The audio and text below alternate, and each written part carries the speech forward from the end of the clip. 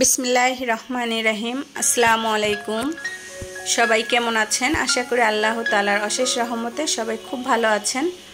আলহামদুলিল্লাহ, আমিও আমার পরিবারের সবাইকে নিয়ে ভালো আছি।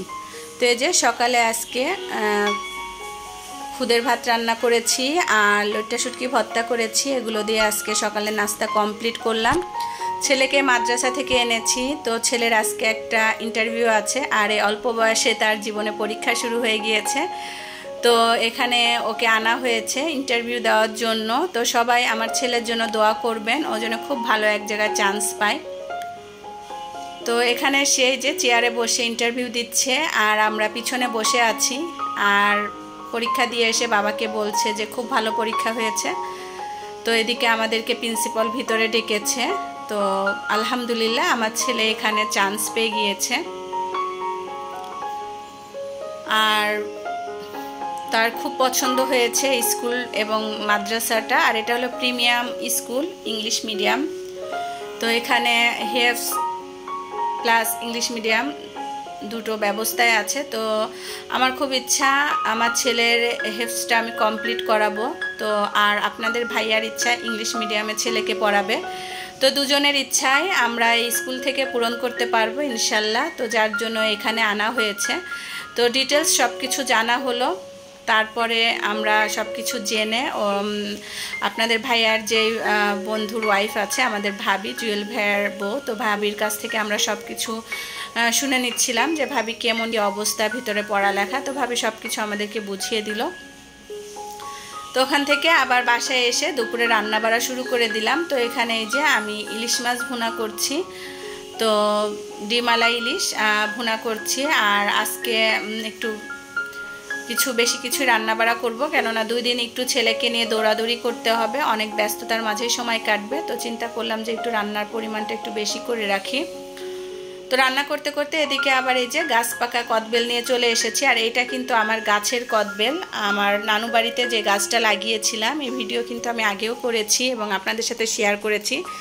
তো সেই কদবেলটাই আবার এসেছে আমার জন্য। আর এদিকে আমি এই যে কিছুটা বিট লবণ, সাদা লবণ, শুকনা মরিচ গুঁড়া আর সামান্য পরিমাণ চিনি দিয়ে এবার এই গাছ পাকা কদবেলটা মাখিয়ে নিব। আর এটা যে গাছ পাকা কদবেল, এটার কালার দেখে আর এই কদবেলটা কিন্তু এমনি অনেক মিষ্টি, প্রচুর মিষ্টি কদবেলটা খেতে লাগে। তো আমি আমার মেজো মামাকে বলছিলাম যে, মামা, এবার আমার গাছের কদবেল খেতে পারব না। তো মামার সাথে সাথে ফোন দিয়ে আমার জন্য কদবেল আনার ব্যবস্থা করে দিয়েছে। আর এই যে, কদবেলটা মাখানোর পরে খুব সুন্দর লাগছিল খেতে। আর দুপুরবেলা টক টক খেতে কিন্তু বেশ ভালোই লাগে। তো কদবেল খেয়ে আবার এই যে কিচেনে চলে এসেছি রান্না করতে। তো আজকে রান্না করব লতি দিয়ে চিংড়ি মাছ আর লাউ দিয়ে তেলাপিয়া মাছ, এগুলোই রান্না করব। আর ইলিশ মাছটা একটা তো রান্না করেছি আর একটা উঠিয়ে রাখব। আর এই যে বাহিরের ওয়েদার মার্শাল্লাহ খুব ঠান্ডা পরিবেশ আর আকাশটাও খুব সুন্দর লাগছে। আর বাসায় আমার কিছু বড়ি ছিল, আর এই বড়িগুলো দিয়েই আজকে লাউটা রান্না করব। আর যেহেতু সামনে শীত আসছে তো ইনশাল্লাহ যদি গ্রামে যাই, তো আবার নতুন করে বড়ি বানিয়ে আনতে পারব। যার জন্য অল্প কয়টা ছিল, এই কয়টা দিয়ে রান্নাটা শুরু করলাম।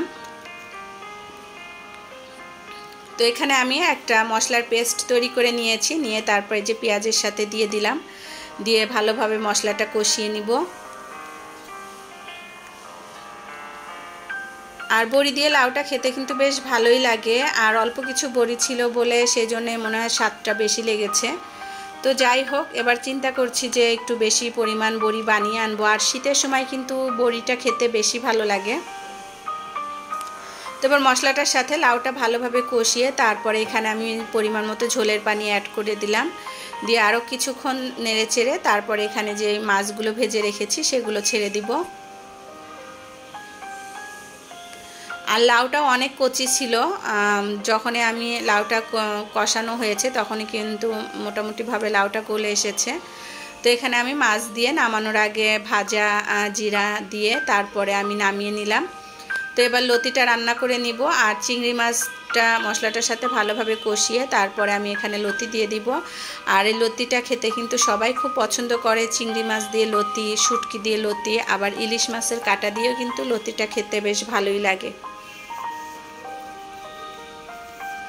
আর রান্নার জন্য সব কিছু যদি আগে থেকে গোছানো থাকে, তাহলে কিন্তু রান্নাটা খুব ঝটপট করে নেওয়া যায়, বেশি একটা সময় লাগে না। তো রান্না বাড়া করে, খাওয়া দাওয়া করে আবার বের হয়ে পড়েছি আপনাদের ভাইয়া আর আমি। তো আমরা আবার চিন্তা করলাম যে আর একটু ঘুরে দেখি আরও কোথাও ভালো মাদ্রাসা বা স্কুল পাওয়া যায় কি না তো সেজন্য আবার বের হয়েছি। আর এই মাদ্রাসাগুলো হলো বাংলা মিডিয়াম, বাংলা প্লাস হেফস তো সেজন্য আপনাদের ভাইয়া বলছিল যে ঠিক আছে সব কিছু ডিটেলস আলোচনা করে দেখি, তারপর চিন্তা ভাবনা করে যে কোনো এক জায়গায় ভর্তি করা যাবে। তো ইংলিশ মিডিয়ামে কিন্তু জুলাই মাস থেকে, জুন জুলাই মাস থেকে ভর্তি শুরু হয়ে গিয়েছে। তো ওনারা বলল যে একটু দেরি হয়ে গিয়েছে তারপরও ছেলের পরীক্ষা দেওয়া, আমরা অনেক রিকোয়েস্ট করে ওখানে পরীক্ষা দেওয়ানো হয়েছে। তো এদিকে ঘুরে টুরে তারপরে আলোচনা করে, চিন্তা ভাবনা করে দেখা যাক কোথায় ভর্তি করা যায়। তো এই যে মাসালা দিলে বৃষ্টি শুরু হয়ে গিয়েছে, বাহিরের ওয়েদারটা দেখতেই পাচ্ছেন। খুব সুন্দর ঠান্ডা পড়ছে আর আকাশটা অনেক মেঘলা হয়ে আছে।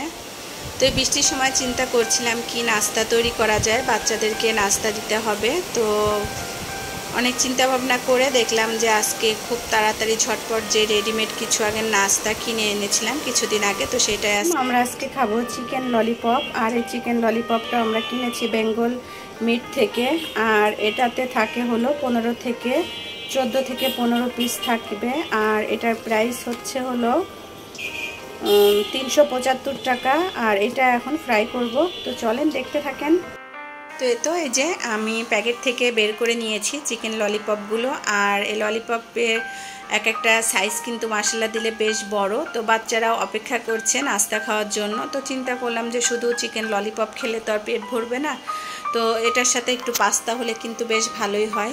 আর এদিকে যে চিকেন ললিপপগুলো ফ্রাই করা কমপ্লিট হয়ে গিয়েছে।